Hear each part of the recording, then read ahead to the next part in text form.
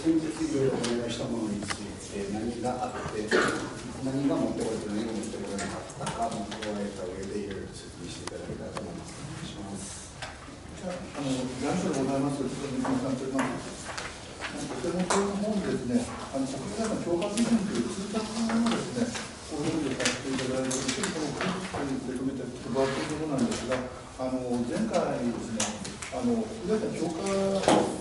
えー、強化、強化調査の関係でですね、あの、えー、強化、関係強化の強化調査をですね、定めたものと、そのプロセスが分かるのというようなあ話があったかと思いますので、それで用意させていただいたものでございます。ご説明させていただいてよろしいですか？はいそれではもう、こちらのですね、国連の評価基準と左上に書いてございます。これ通達でございまして、国連さん評価のやり方をですね、書いているのでございます。一枚の署名切りをいただきましてですね、こちらまず評価のプロセスについて説明させていただきます。一枚読み上げる第3のところに、評価の手順というところがございます。下に読み上げる下のところにですね、評価の手順というところがございます。もう一番といたしまして、基本的事項の確定を計画的事務処理というふうに、あの一枚このお寄せいただいて、一枚メールで3ページですね、3ページ下のところでございますけれども、あの評価の手順と、はい、ございます。はい、下のところに、はい。で、これで評価の手順で、まず1番目に、は、あの内規として定められているもの、内規、あのうちの中の、機関の中の、おその内規としてですね、評価書を作るということが定められてますので、内規を守れなかったということではですね、非常にこう、まあ、申し訳なかったと思います。あいやいや、そういう話じゃなくて、見積もり合わせをしないところも許容されるのと同じように、評価調書を作らないってことも、まあ、内規には反するけれども、一応許容されてるっていう感じなんですか？見積もり合わせにつきましてはですね、会計法令上ですね、見積もり合わせを行わないということが認められているということでございまして、一方で、あの評価調書につきましては、うちの内部の規定でえー作るようにというような手続きを定めているところで、内規として違反しているということでございますので、それはあの我々内部定めているものとしては、あそれはうん作らないということは申し訳なかったと思っております。休憩もあったのかな。わかんないですよね、これね、実際。だから丸いだかもしれんし。日常的にこういうこと起こってるのを送っていただければかもしれないし。それでその、えっーと、えーまあ、これ本省にずっと報告してたんですね。えどういうような、あの、まあ、こういう特殊な案件であるということはね。あの基本的にはですね、あの第三の管理処分というのは、あの近畿財務局において行うところではございますけれども、一方で、えー今回、あの本省に上申するような規定もございましたので、それについては本省の方で、えー承認をしたという方がございましたので、そのフォローという形で情報は入ってきたかもしれませんですけど、基本的には近畿財務局において処理ができる案件でございます。うんうん、具体いや、それは、そういう案件なんだけれども、籠池さんがこっちに来たり、直接、あの財務省の本省の方に会ったり、いろいろやってきたじゃないですか。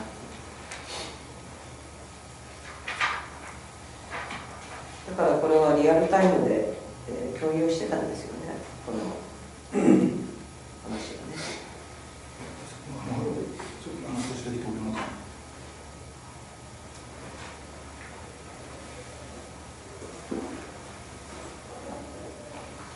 困ったもんだな。どうしますか国土交通省に何か質問ありますかあんまり気の毒でね。気の毒で実は、ねえ、この間もやっぱり予算から言われちゃってね、歴史を変える企画っていう。そうだよね。マヨネーズの蓋ですか。うん。そりゃそうだよね。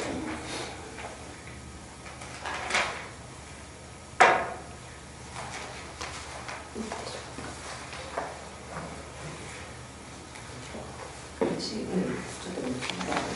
待っても皆さん、私、ちょっと過ぎたら、あ了解ですあのじゃ審査をして出なきゃいけない。ああ了解しましたじゃあちょっと残りのあの説明を聞いて上がりにしますあの先生先生いただいていやいや、ちょっと、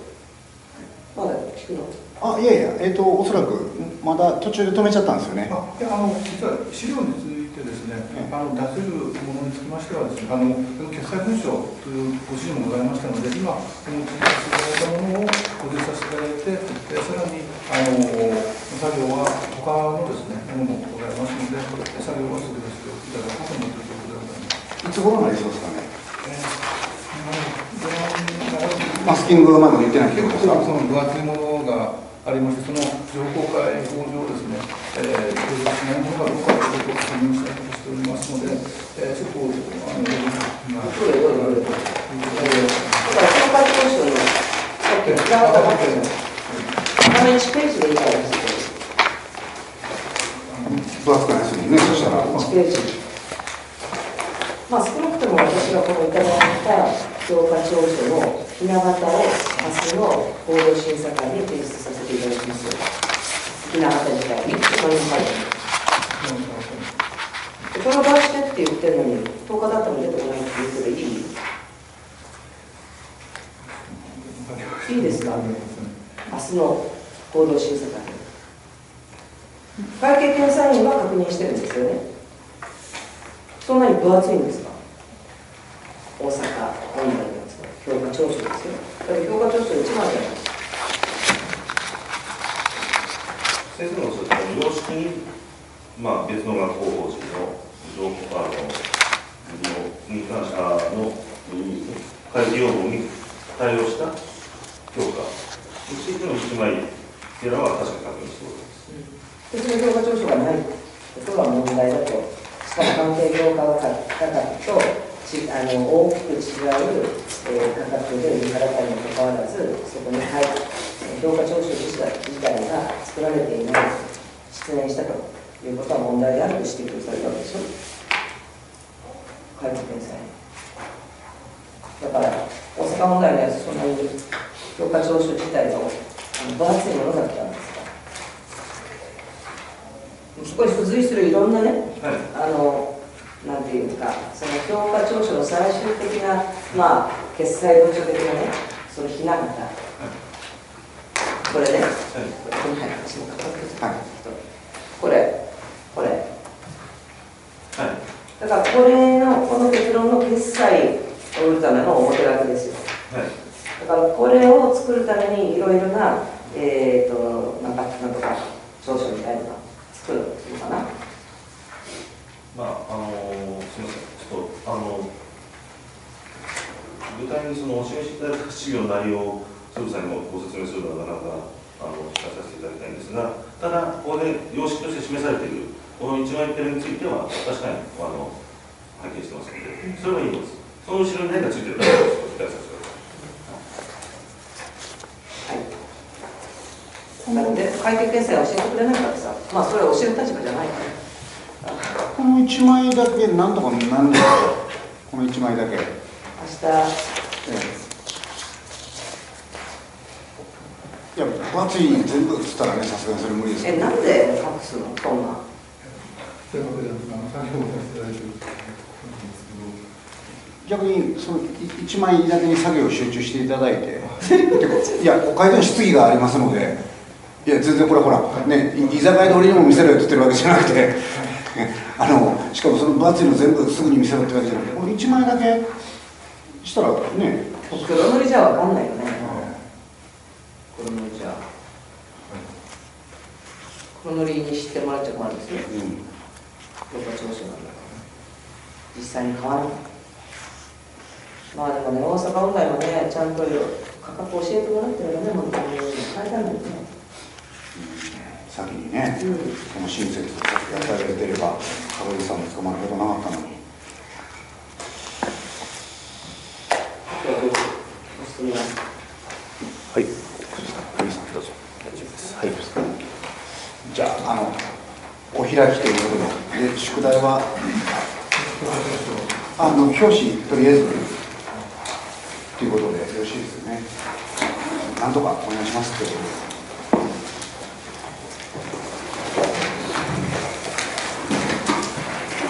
いや難しい説明もそのまあそんないらないんだよ要はあの谷紗子さんを通じてよろしくっていう話があったから特別なで、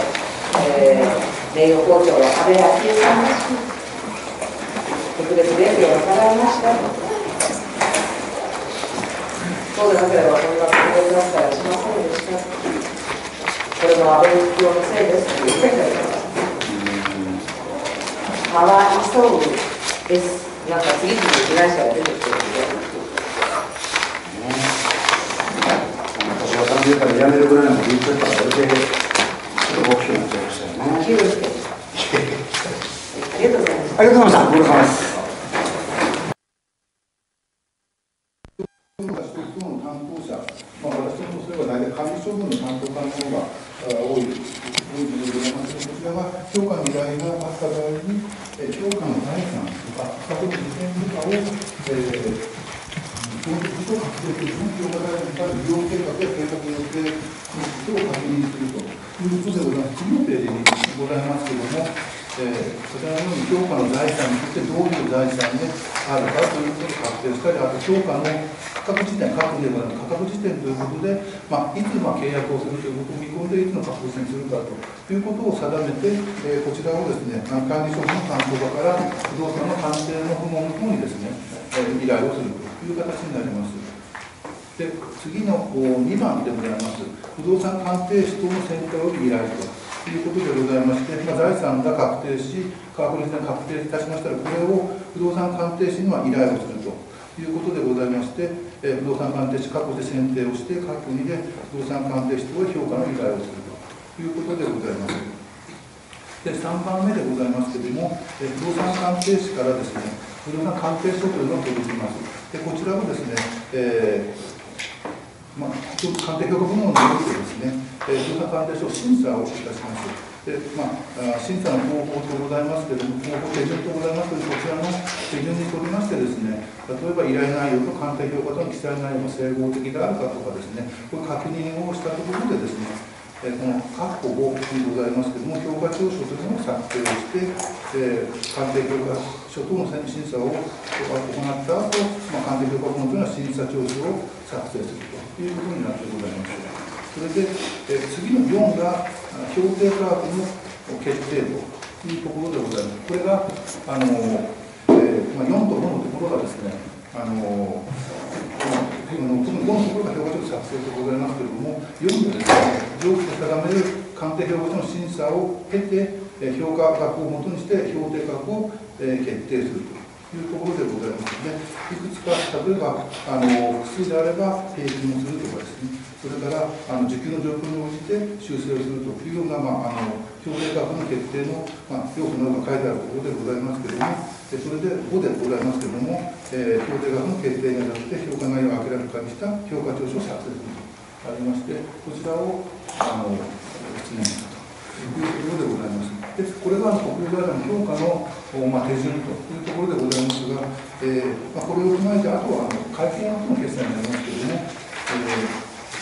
この協定価格を踏まえて、予定価格を決定する手続きが行われるという形になるというところでございます。以上があの一つ目のあの、まあ、祝日でございました、えー、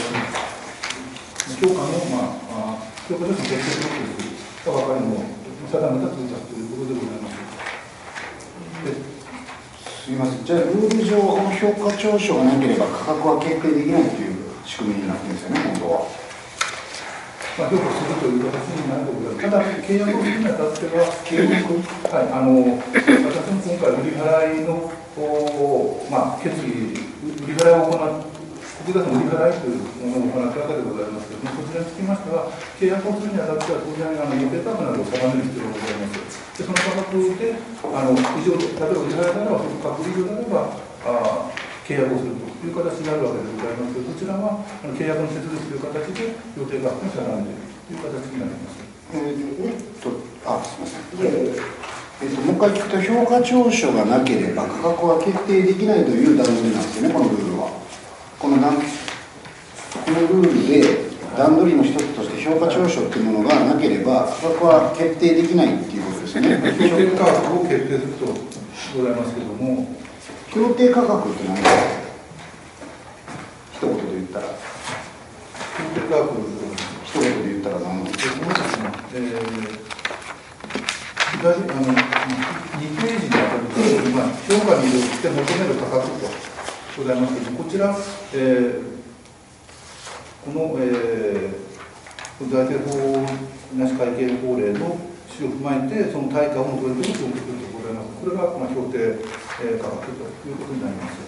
まあもうまあいわゆるそのままの価格ですよね。本当取引されてるのは、はい。評価調書を作成して、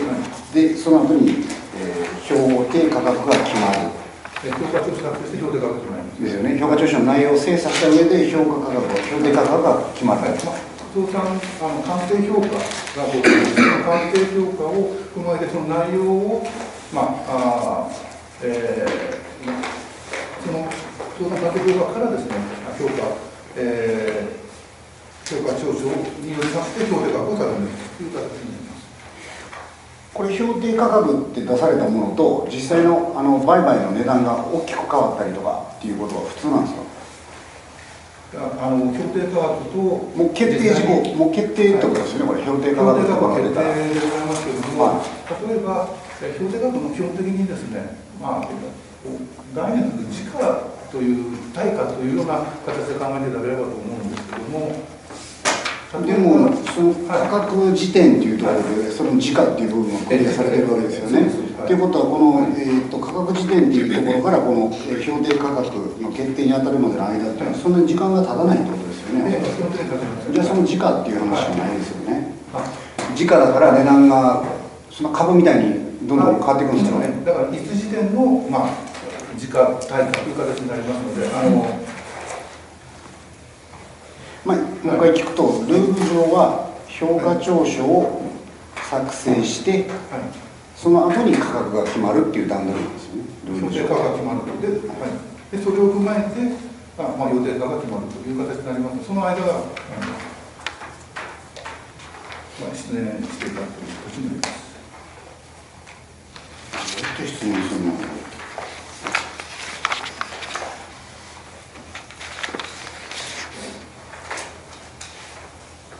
先の説明に行ってもらえますか？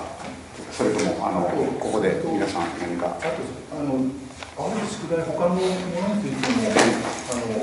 えー、そうですね。あの今この大事なところだからね、要はこの価格なのか金額なのか、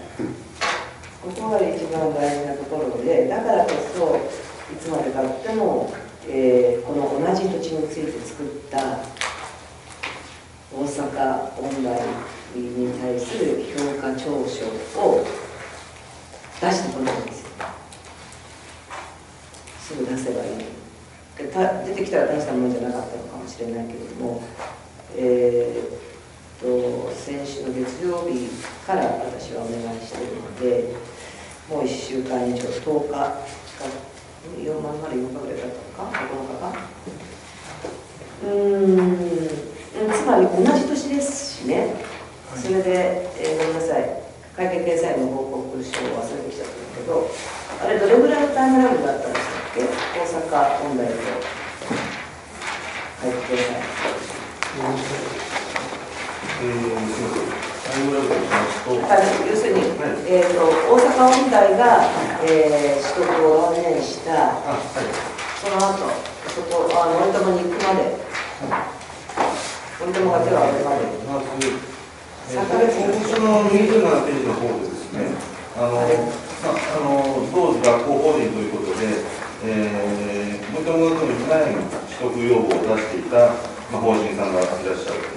えー、そこの法人さんが、えー、会計要望を取り下げていたのは24年、あ24年7月25日でございます。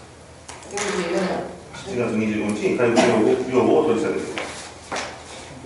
す。はい、前の、はい、段階それで、えー、と森友が手を挙げたのが、はい。えー、手を挙げたとおっしゃいますと、うえーん、まあ借りることになったわけですけどもその合理に向け調査したのは25年？25年？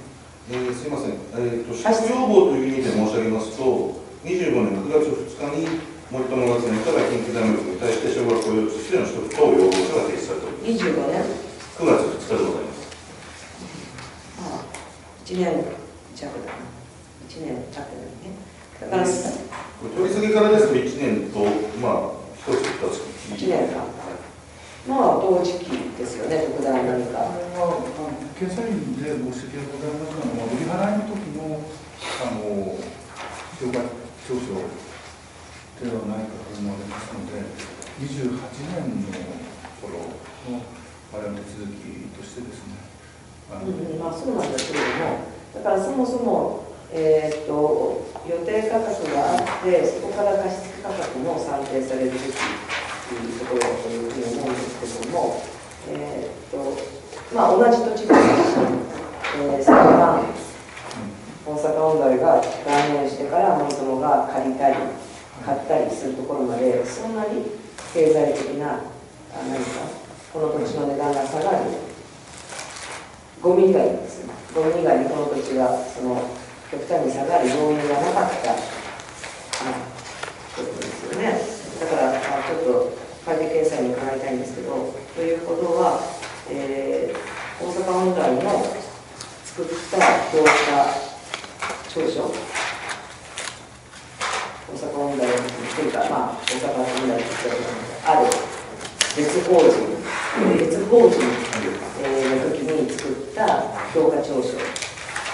まあこれは当然同じ土地ですしえすでにゴミの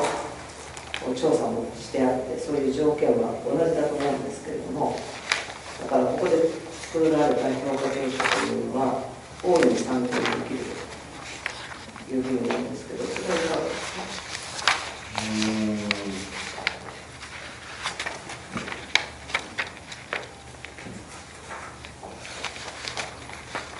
本当にできるかどうかの評価は、してないいたしあの、今回は私どもしております。貴重ですねいやいや検査はいいんですよ要するに検査をきちっとしてないことについては答える立場にないということですからまあだからこそ、えー会計検査院は、まあ、別の法学校法人に対して財務省が行ったえー評価調書もきちっと検査してるわけだけれどもそれを私たちに提供するということは会計検査院としてはできない。まあ、そう、そういうことです。おっしゃってるので。実際にここにこれだけ書いてあって、で4号形式、4号様式っていうのが、えー評価調書の形式がちゃんと整っていて、でこれに準じて多少変えてもいいよっていうところは、またこのこの決済の印鑑の数とか、そういうところだと思うので、その手続きのなんか、やっぱり、この別法人、大阪の別法人の時に算定をしたもの、平成24年の4月にその別法人は行き渡られたわけですけど、そうするとその後で、えー、約1年弱の間に、森友学園側からそういうことが出てくるということになると、当然、そんなにその地価の高騰や変動というものが、ないというふうに認識をした場合、結局、前回のこの鉄道人に出した、えこの評価調書というのを参考に、いろいろまた物事が決まっていくわけですよね。そこのところは、さっきプロセスと説明させていただきましたけれども、あの今回、新しく不動産鑑定評価を出して、あ依頼をしてございます。これが大阪問題の時のものとは違いますので、あの発注をいたしました不動産鑑定評価に基づいて、まず不動産鑑定評価の審査調書、審査を行って、それに基づいて、えー不動産、えーまあ、評価調書を作るということでございますので、隣のところをですね、えー、参加するということよりはですね、あの、えー不動産鑑定評価書した本が出したものについて、それに基づいた形で、えー。毎回毎回作るということですね。ということえー毎回毎回作ってます。ということは別法人の時も作ってあるんですよ。はい。それを資料として出していただきますけど、えーで、森友学園からその要望があった時にも、はい内容を出したわけですよね。えー今回の、はいはい、鑑定評価をして、はい、鑑定評価をし、て、はい、いやる見返りを行ったわけですけども、あのちょっと言い訳がましくて申し訳ないんですけど、あのあの、えー通常はこのこ不動産のこのプロセスの中で、鑑定評価を行う部門というところが、不動産鑑定評価の、えー不動産鑑定士に一括でですね、えー発注をするんですね。で、発注をして、それがまとまって、まあ、それが来たものについてですね、不動産鑑定部門が評価中評価を行っ評価調整を行って、評定となっているというのが確定をするんですけど、今回は、その、え一般的に入札とか合わせて、合わせて一緒にですね、発注、不動産関係者に発注したんですけど、今回は、それと別のですね、えー個別にその管理処分担当、別のところがですね、あの鑑定士にですね、評価、あの評価鑑定士へのですね、外部発注を行ったためにですね、あのちょっと通常とですね、えーあまりやってないことをやってしまったために、あの連携がうまくいかなかったっていうふうに、えー承知をしているところなんですけども、通常あまりやってないことをやってしまったはい。場合でも、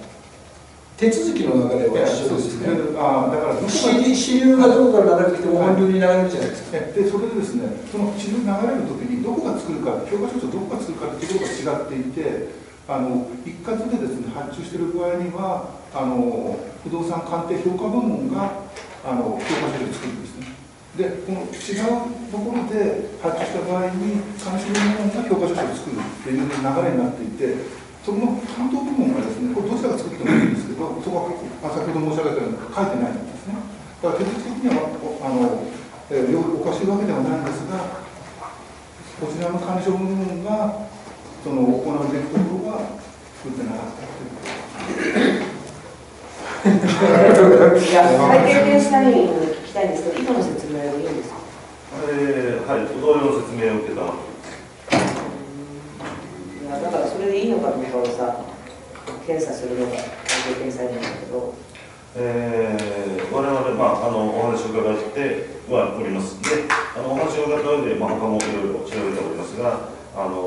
ご説明の内容を覆すような、えーまあ、覆すというかご説明の内容が、えー、と違うという事実については我々確認できておりませんのでそのそのご説明のまま、えー、報告書の方に記載させていただいているというところです。他に、えー今言ったような、えーといつもやるや系統でやらないで、管理部門がエリアでやっちゃうっていう件も散見されるえーその件につきましては、あの3件とまでは申しませんが、経済財務局において、他9に件あったんだって。それがね、伺っています。その9件あった理由っていうのは何なんですかねその同じことなんですか川島の方でどうのっていう話の。えっていうことなんですか？ええその9件これとは別個に9件ありましたっていう話のしてるわけではないんですけれども、それぞれ個々の事案についてですね、えーそのそのあの作ってない事案っていうのが9件あるということは承知していて、それぞれがまだどういう状況で行われたかっていうのはあー分かっていないところではありますけども、調べてるんですか？はい。調べてるんですか？内容はい。それって国会の中であのそれ調査しろっていう話になったんですか？なんか答弁の中で。今のところ多分9件ということにお答えして、あのまあ、それについてあのここからなかったわけじゃないですけどどういうものかということはあの多分いくつかあの宿題で言ってるので今あの調べようとしている部分があると思いますけどまだちょっと個別に一枚一枚見ていかなきゃいけないものなのでまだ全部把握できてない状況でありますただあの想像するにおそらくあのそういうわけでし鑑定部門がやるときはもう一連の事務の中でやりますのでおそらく似たような形の事務ミスが起きたんじゃないかとあの推測はしますがちょっとまだ休憩の中身についてまだあの研究について見るという状況にはありますすごいなだって価格を決定するにはそれが絶対必要なのにそれがなかったっていうのが9件もあってそれが準ミスだって話じゃないですか？この様式を見ると、非常にだからきちんと書かないと、比較検討ができない、こういう形で検討してきましたよっていう、要するに担保されるものがないわけですよね、これを見ないと。さっきの9件件っていうのは別に評価調書がなかった件数じゃないからね評価調書はみんなあったんですよねい。や評価調書がなかった件数が9件評価調書がなかった件数だから管理部門がやって評価調書がちょっとそこまで全部確認できてないんですが、あの要は官邸部門がやると、おそらく一連の順の流れでやるので、そういうことではないかと、ちょっとそこは推測が入ってますけど、すみません、ちょっと途中であのあのごめんなさい、ちょっと集中力途切れちゃって、あの聞き取れなかったんですけど、えーと官邸部門がやる場合は、官邸部門がえっ、とすべてやる。もう一連の流れの中でですね、やってで、えっと、今回は違う部門がやることになったから外部発注になってって話。あいや、外部発注はもうすべて、全て外部発注はい外部外部発注先がですね、あの大体毎年入札スケジュールっていうのをですね、あのやるやるんです。で、それと合わせてこういう公共随契約みたいなものについても合わせて発注する場合はみんな倒産関係部門で、えー、あの事務処理が終わってしまうので、えーところが一方で、あの単発でですね、えー、国土さんあの鑑定評価をお願いする場合っていうのは、えー年間そんな多くはないと思いますけども、あありまして、それ以外にその監修部門別の部門があ担当、事務を担当するということがありまして、今回はそれに当たっていたということでございます。会計検査院の同じこと言うのか。会計検査院さん、すみません。評定価格を決定するには、この評価調整は必要だっていう段取りになってるわけですね、ルール上は。はい。それで9件もすごいですね。逆に言うとその9件の別発注の中で今回のような恣意的な、ね、形で利益が生じているという案件ももしかするとまた出てくるかもしれませんそんな簡単に担当者の方が優秀な方が忘れるということは失念するということはあの公務員に対する印象そのものを変えなければいけないということになりますからだから非常にあの苦しい立場だとは思うんですけども、あのね、9件も調書を作ってなかったということの原因をあのしっかり明らかにして、改めて、その9件もあったということが二度とないようにするためには、その9件も洗わなきゃ再調査しなきゃいけないと思います、森友の件も、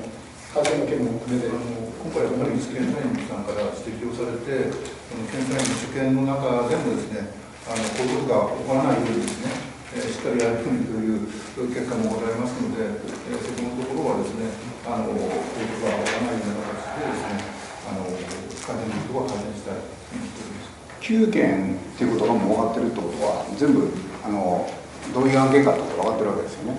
詳細は分かんないとして、はいその時期、まあここのその、えー、ジャンルとかです。ね、そういうのは。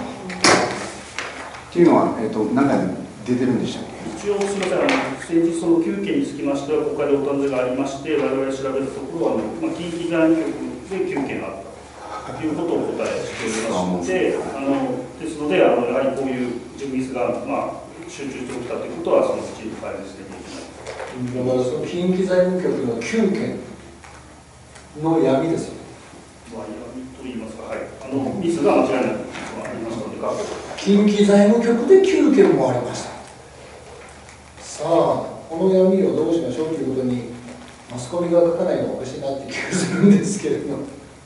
めんどくさくなってきてますかね。これ時期は9件それぞれ近いんですか？それも、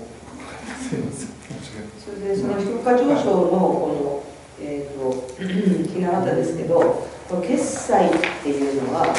1234、決断者、で整理番号、まあ、役所の、うんまあ、上昇だなと思いますけど、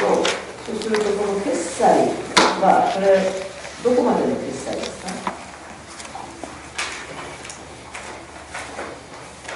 これ誰が。この決済、一番上の人は誰が押すえ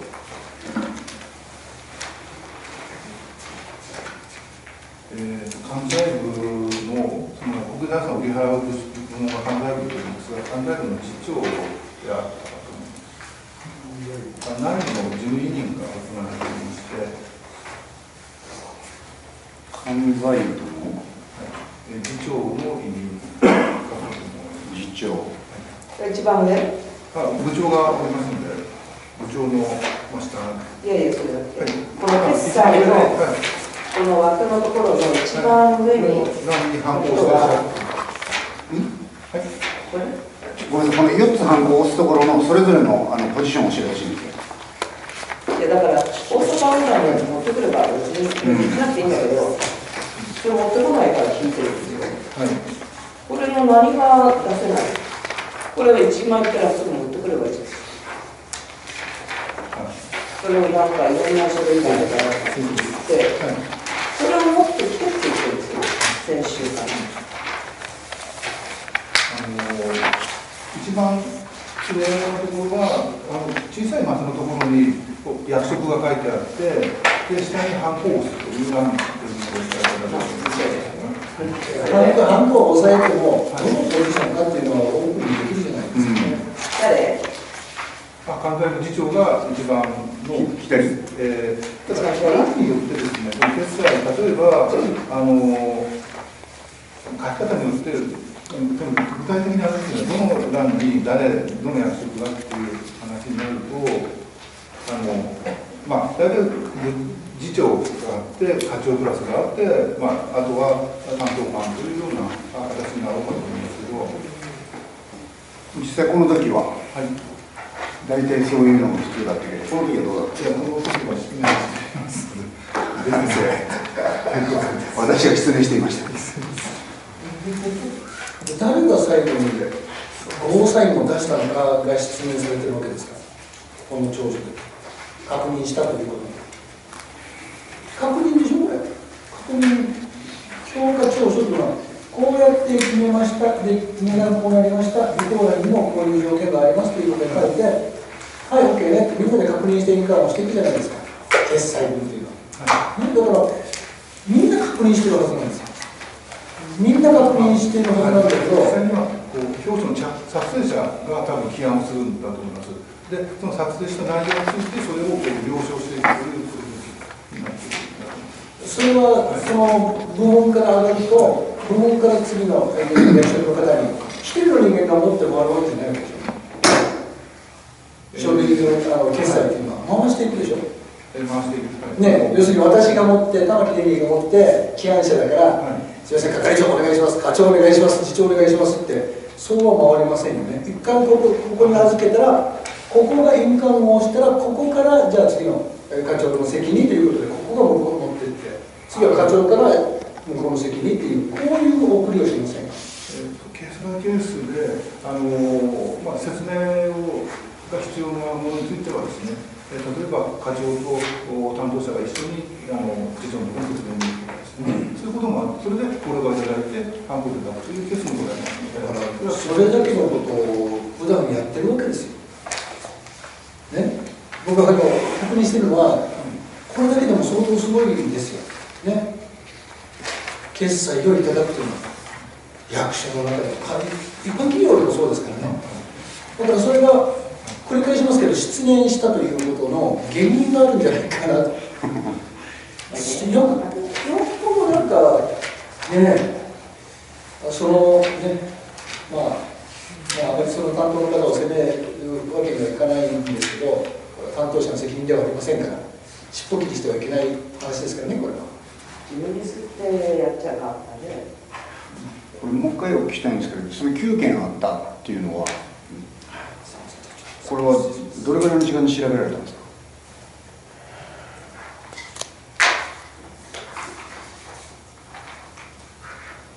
？9件あったってことは数えられたってことですよねちゃんとね。はい。その時期っていつなんですか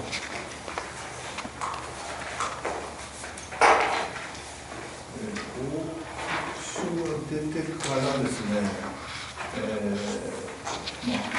まあ、他のこうこういう事案って、やっぱりあってはならないことだと思いますので、えーそういう中でですね、あの確認があございまして、そうじゃなくてあのごめんなさい。評価調書がなかった9件9件のそれぞれの時期は分かりますよねだって。9件確認したわけだから。これ教えてもらっていいですか？今はちょっと手元にはごめんなさい国会からその、えー、と9件出せって言われてるのはな何を出せって言われてるんですか？あのでその答弁で、まあ、その9件についての確認があったので、その局長の方から答えさせていただいた。あで宿題として戻されてるんですよね。宿題についてはこの9件どうなっていると問い合わせを受けているものもあるので、今、我々の方でその9件についてはあのどういうものがあったかということそをの問い合わせっていうのはどこまでのことを言われてるんですか？その宿題どんな宿題の渡され方をしてるか機あ会してる。そうですね、ちょっと私が直接受けたまってるわけじゃないですが、今この9件でどういうものかということが書かれているので、今調べようとしているということは、調べようとしてるか。時間かかりそうやな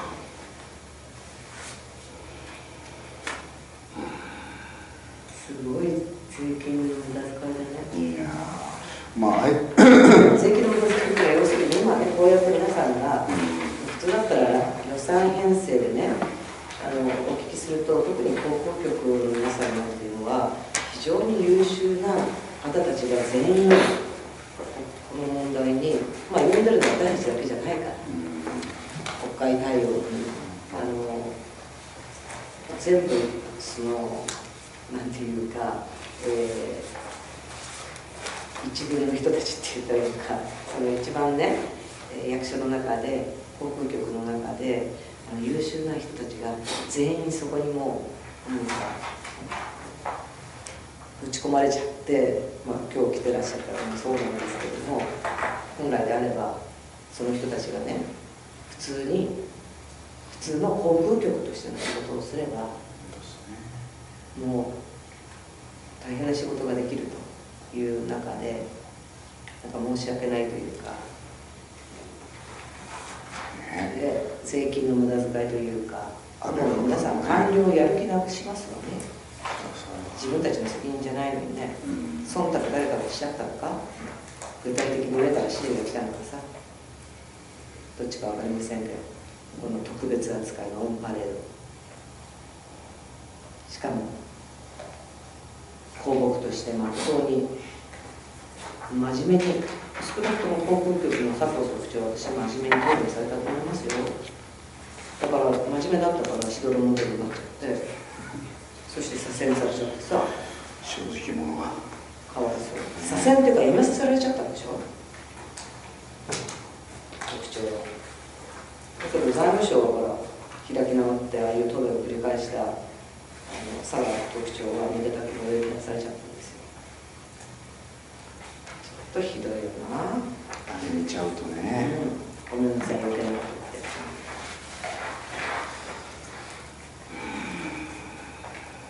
って皆さんからもあれば。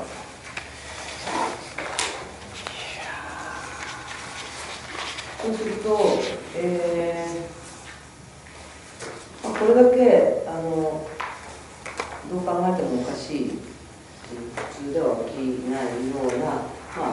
さまざ、まなことが指摘されたわけですけれどもそれでもまだ、まあ、この間も予算委員会とかで何度も指摘されてますけど通常国会でのそれぞれの答弁も維持されるということですから、まあ、厳しいしょうがないねいかがでしょう聞かせてください一応あの今それではあの今国会で、あのまあ、大局長の方からご説明させていただいておりますが、今回、まあ、経済者はさまざまな指摘をしておりますが、あの一方で今回のこの一連のその手続きにつきましては、あの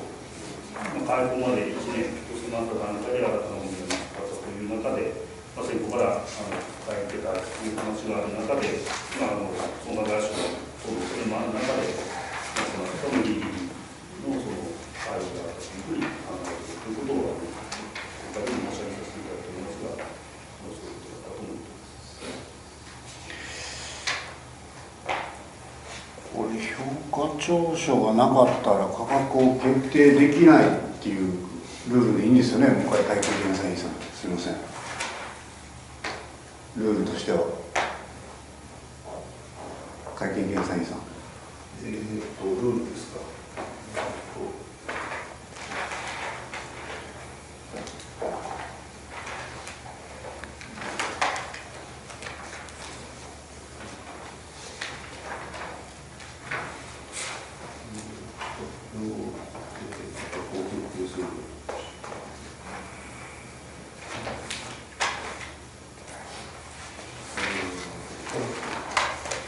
しまですね、あの、標定価格は確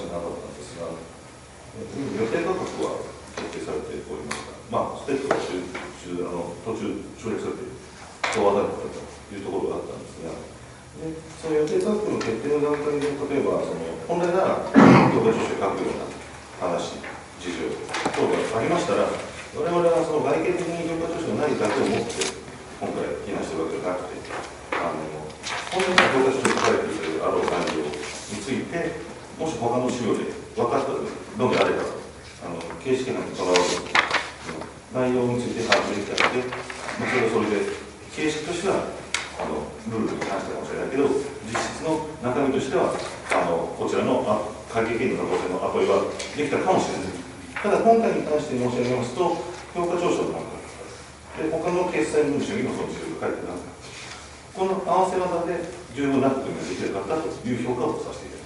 ますそれはあれでしょ？う今日持ってきていただいてるっていうなんだっけ。決済文書。そこにそういう特別な事情が書いてなかったってことですよね。ちょっとこう。あのねこの中に今日配布していただく資料あるんです。決済文書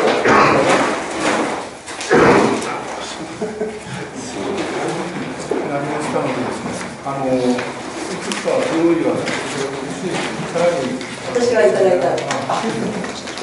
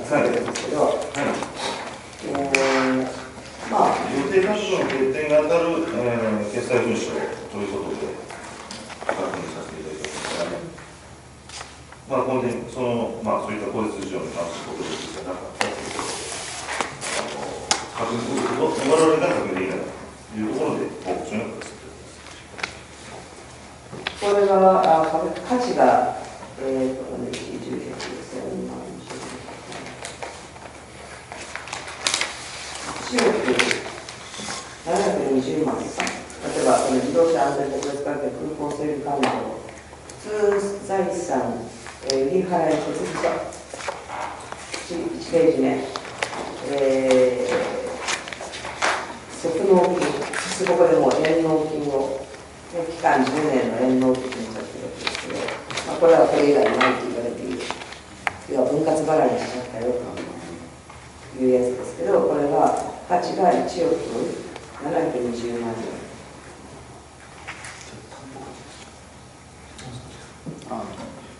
担保価値ですかああ、上の方のね。はいはい。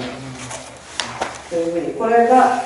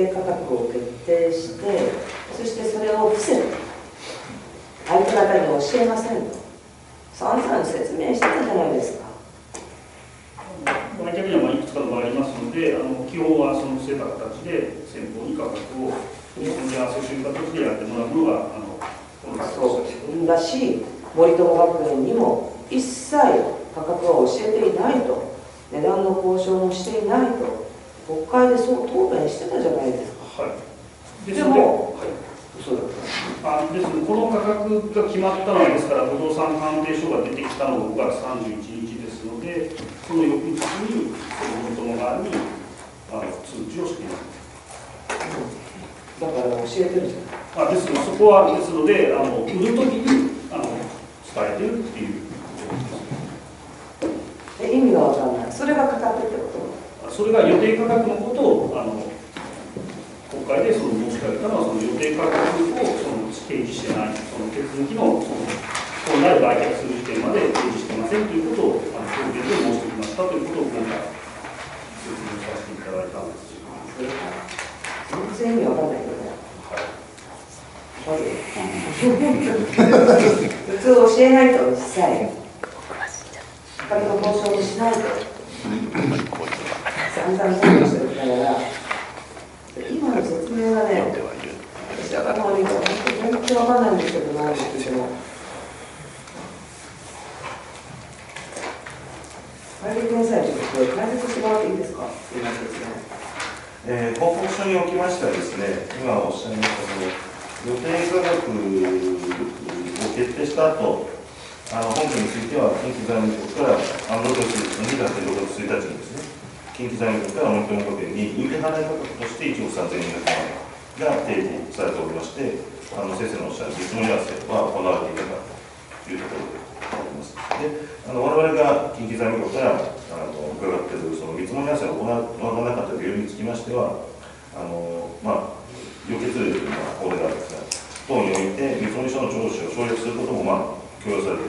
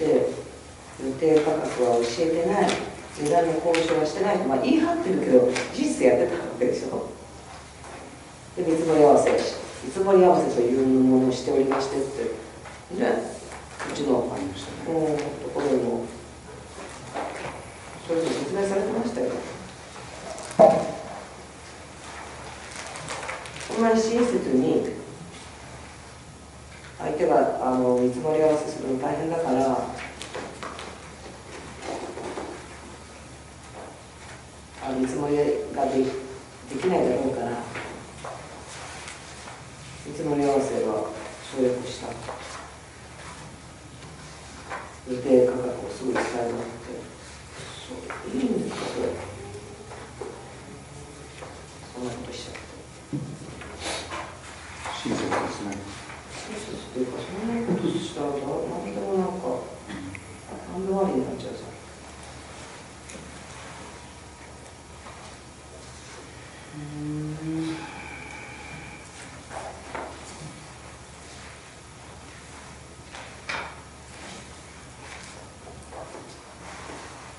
えノーコメントあいえあの先ほど申し上げさせていただきましたけども、会計法令上ですね、メンテナンスを行わないということもですね、あの容認はされている中でですね、今回、あのまあ、あのかなりのですね、えー、と力が出てくるが存在をしておりますので、えーそちらについてですね、えーなかなかこうその影響を見積もることが難しいとかですね、そういうこともありますし、えーまた、あのえーこのお開校が迫るようなですね、そういう時期にですね、えー相手方にですね、えー求めるということはですね、あー判の判断をいたしましたそういう記憶の中でですね、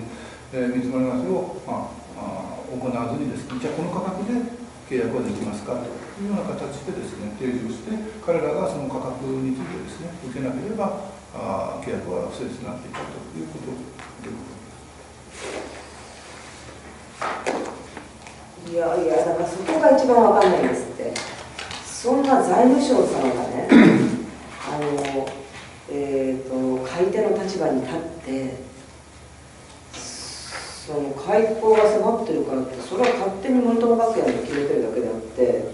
そんなの知ったこっちゃないよっていう話をするんじゃないの？普通だったら。別にじゃあ財務省があのなんか約束したんですか？一つ補足いたしますと、この売却の前には、まあすでに貸付をしておりましたので、貸付をしているということは、国側は貸主として、その小学校が開校するために必要な、まあ、なんていうんですか、